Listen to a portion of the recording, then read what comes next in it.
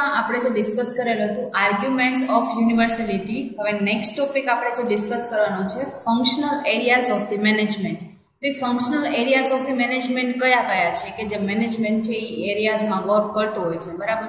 તો એ છે functional areas of the management are as under production management marketing management personnel management and the financial management આ ચાર ટાઈપના મેનેજમેન્ટ છે, એ મેનેજમેન્ટના એરિયાઝ છે કે જે આપણે લર્ન કરવાના છે. તો આપણે વન બાય વન એમને ડિટેલ્સમાં જોઈએ. ફર્સ્ટ પ્રોડક્શન મેનેજમેન્ટ તો પ્રોડક્શન મેનેજમેન્ટ છે, એમાં શું ઇન્ક્લુડ થશે?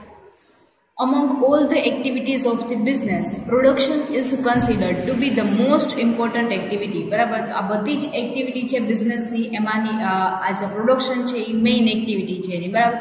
મોસ્ટ ઇમ્પોર્ટન્ટ એક્ટિવિટી છે મેનેજમેન્ટની કે જે પ્રોડક્શન વગર છે એના એક મોટિવ છે એ ફૂલફિલ ન થાય. પ્રોફિટ મોટિવ છે તો પ્રોડક્શન ન કરીએ તો આપણે જે પ્રોફિટ છે સેલ ન થાય. સેલ ન થાય તો પ્રોફિટ છે એ આપણને ન મળી શકે. આ બધામાં જે ઇમ્પોર્ટન્ટ એક્ટિવિટી છે એ છે production management Next, and at most of the business units, production occupies a dominant place. તો આ બધી જ એક્ટિવિટી અને બધા જ યુનિટ્સ છે એડમિનિસ્ટ્રેશન સેલિંગ ડિસ્ટ્રીબ્યુશન એડવર્ટાઇઝમેન્ટ અને રિસર્ચ એન્ડ ડેવલપમેન્ટ આ બધા જ જે જેટલા પણ યુનિટ્સ છે એમાં જે મેઇન જે ઇમ્પોર્ટન્ટ યુનિટ કહી શકીએ અથવા તો એનું ડોમિનન્ટ પ્લેસ છે જે યુનિટની એ છે પ્રોડક્શન મેનેજમેન્ટ કારણ કે પ્રોડક્શન મેનેજમેન્ટના એના ઉપર જ બીજા બધા ડિપાર્ટમેન્ટ છે એ ડિપેન્ડ કરે છે.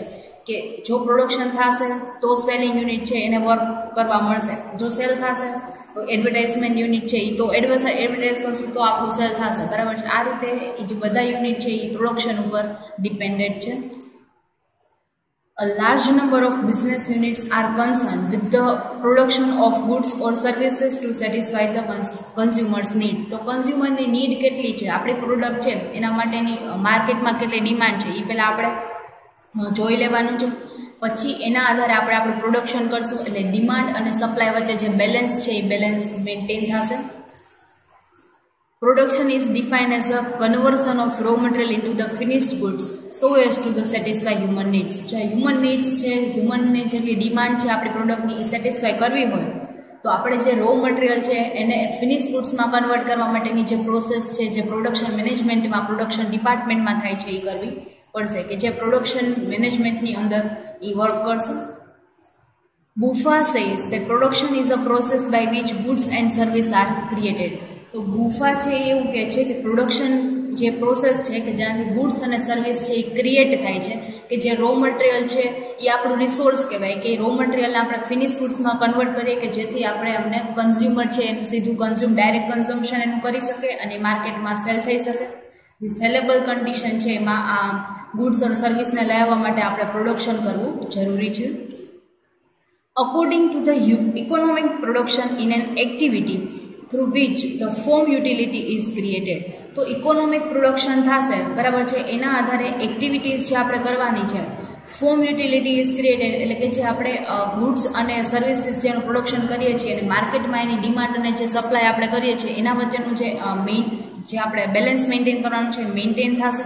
અને જે કન્ઝ્યુમર છે, એની યુટિલિટી જેની યુટિલાઇઝ કરે છે આપણી પ્રોડક્ટ છે એ યુટિલાઇઝેશન છે એ વધશે એ ક્રિએટ થશે.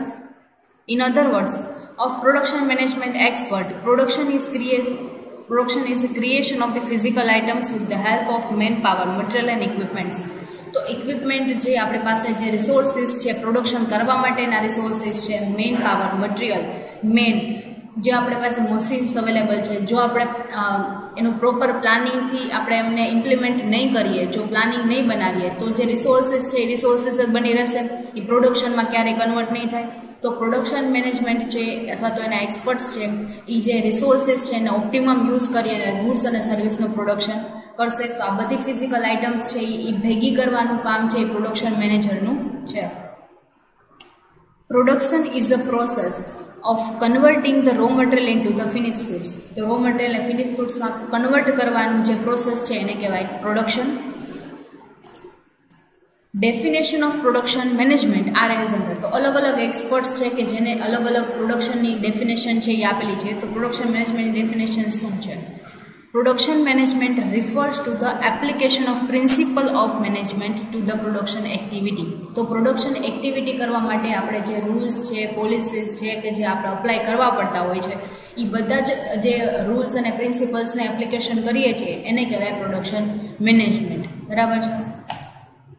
Production management is the process of effectively planning organizing coordinating and controlling the activities of production function production ફંક્શનની અંદર આપણે લેબર છે વર્ક કરતા હોય છે, એમાં ઘણા બધા થાય એસેમ્બલિંગ થતું હોય છે પ્રોડક્ટ પ્રોડ્યુસ થાય, એ બધું રો મટીરિયલ ફિનિશ ગુડ્સમાં કન્વર્ટ કરીએ, પહેલાં raw મટીરિયલથી work in progress work in પ્રોગ્રેસથી finish goods તો આ બધી જે પ્રોસેસ થાય છે, એમાં આપણે, એના માટે આપણે પ્લાનિંગ કરેલું છે, એ પ્લાનિંગને આપણે એકચ્યુઅલમાં ઇમ્પ્લિમેન્ટેશન કરે એટલે ઓર્ગેનાઇઝિંગ કરીએ, એકબીજા ડિપાર્ટમેન્ટ સાથે કોઓર્ડિનેટ કરવાનું છે, અને રો મટીરિયલ બગડતું નથી, અથવા તો પ્રોપર વેમાં પ્રોડક્શન ચાલે છે પ્રોડક્શન ચેન્જ છે બ્રેક નથી થતી એના માટે કંટ્રોલ કરવાનું આ બધી એક્ટિવિટી છે કે જે પ્રોડક્શન રિલેટેડ ફંક્શન કરે છે એની બધી એક્ટિવિટી અને બધી પ્રોસેસને કહેવાય છે production management according to the E F L Brech production manage, uh, management is the process of effectively planning and regulating the operations of that part of an enterprise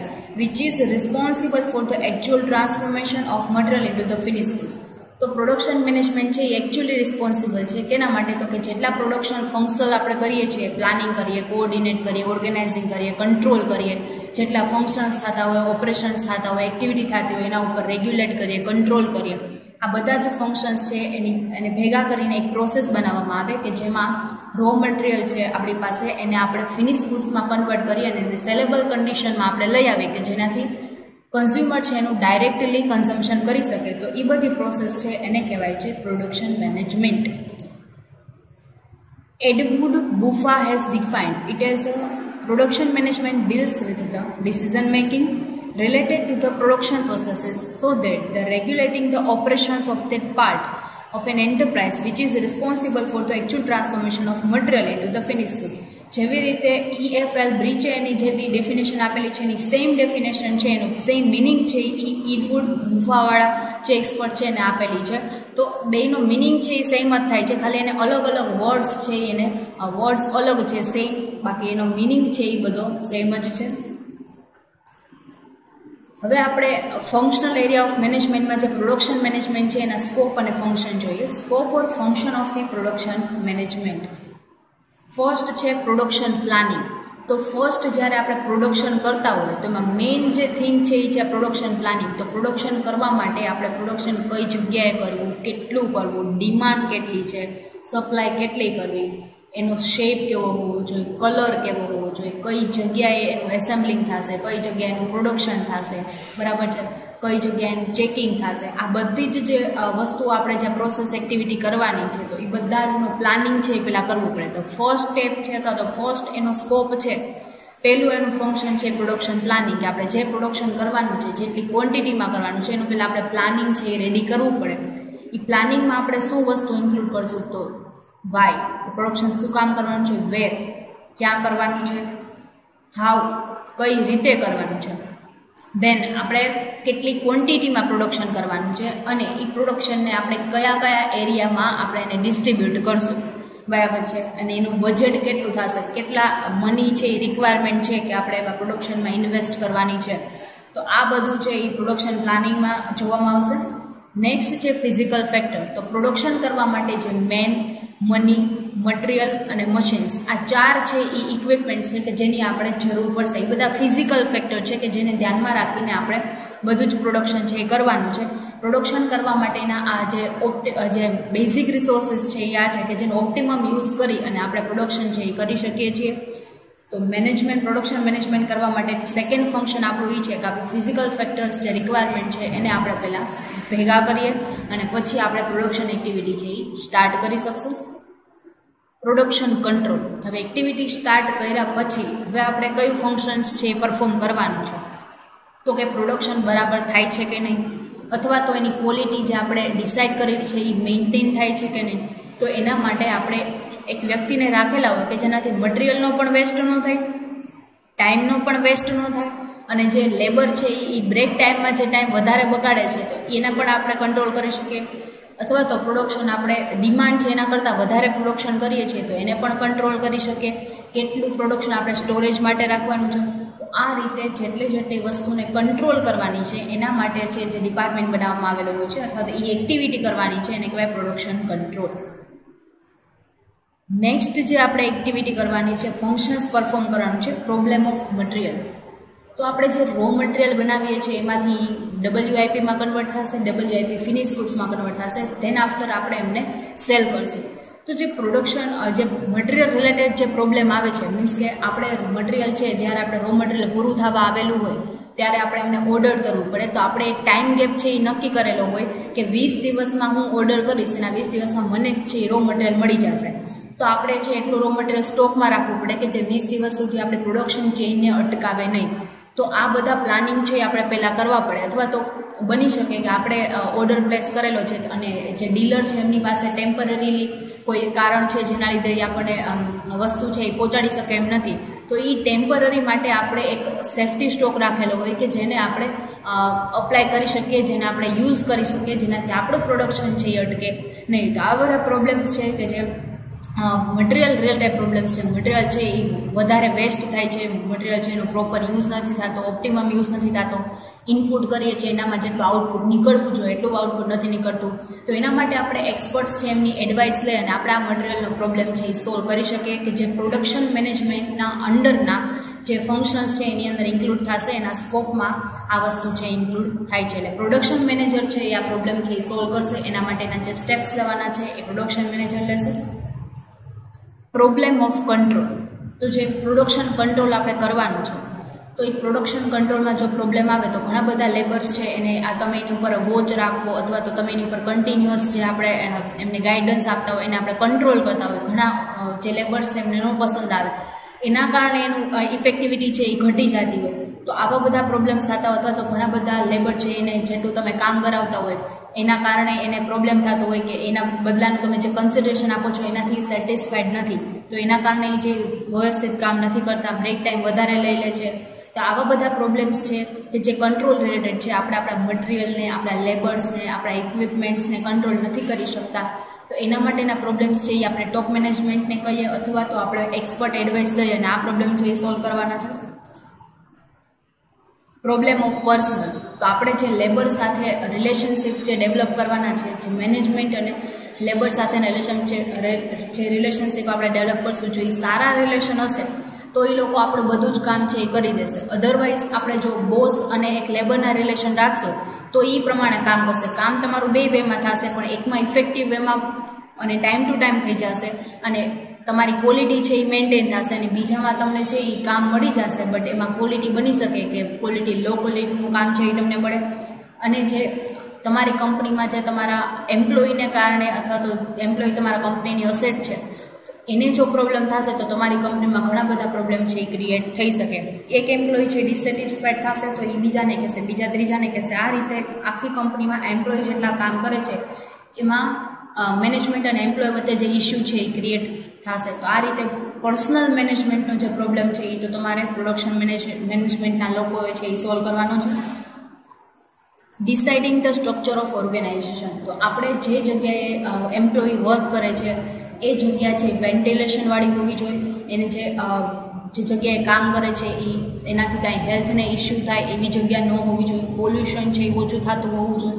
અથવા તો તમે એવી એને ખુશ રહી શકે અથવા તો ફ્રી ફીલ કરી શકે એવી તમે એક્ટિવિટી કરો જેનાથી ઇઝીલી અને નોર્મલી વર્ક કરી શકે. તો આ રીતે અને એમાં જે ફેસિલિટીઝ છે અને પ્રોવાઈડ થવી જોઈએ, જે બેઝિક ફેસિલિટીઝ છે વોટર છે વેન્ટિલેશન્સ છે, એને ફૂડ પ્રોવાઈડ કરવાનું, આ બધી જે બેઝિક ફેસિલિટી છે બેઝિક નેસેસિટી છે એ તો ફૂલફિલ થવી જોઈએ. આ રીતે આપણે ઓર્ગેનાઇઝેશનનું સ્ટ્રક્ચર છે એ ડિસાઇડ કરી શકીએ. ડિટરમાઇનિંગ ધ વર્ક મેથડ તો ડિટર આપણે વર્ક મેથડ છે એ ડિટરમાઇન કરવાની છે. તો વર્ક મેથડ આપણે ડિટરમાઇન કઈ રીતે કરી શકીએ? તો આપણે મશીન રિલેટેડ જો આપણે વધારેમાં વધારે મશીનનો યુઝ કરતા હોય, તો એમાં લેબર છે ઓછી જરૂર પડે. અથવા તો આપણે લેબર ઇન્સેન્ટિવ આપણે વર્ક કરીએ છીએ, તો જેમાં લેબરની વધારે જરૂર પડતી હોય છે. તો આપણે વર્ક મેથડ આપણે કોઈ એક્સેપ્ટ કરેલી છે, એના ઉપર આપણે ડિટરમાઇન કરી શકીએ. કે કઈ આપણે વસ્તુ છે એ કરવાની છે અથવા તો કઈ મેથડ છે એ આપણે અપ્લાય કરવાની છે. જો લેબર રિલેટેડ કરશું તો વધારેમાં વધારે લેબરને આપણે વર્ક કરાવી શકશું. અને જો ઇક્વિપમેન્ટ રિલેટેડ કામ કરશું તો ઇક્વિપમેન્ટ વધારેમાં વધારે ઇક્વિપમેન્ટ છે એ આપણે કરેલા હશે. તો એ કઈ રીતે વર્ક કરે છે એમાં કાંઈ પ્રોબ્લેમ નથી. તો એને આપણે ડિસાઇડ કરવાનું કામ છે એ કંપનીનું છે, જે પ્રોડક્શન મેનેજમેન્ટ છે એનું છે.